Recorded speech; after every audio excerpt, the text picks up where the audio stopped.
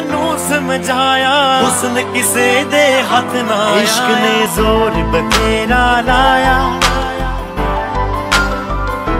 ਇਸ਼ਕ ਨੇ ਜ਼ੋਰ ਬਥੇਰਾ ਲਾਇਆ। ਯਾਰੋ ਸ਼ਹਿਰੀ ਹਾਰ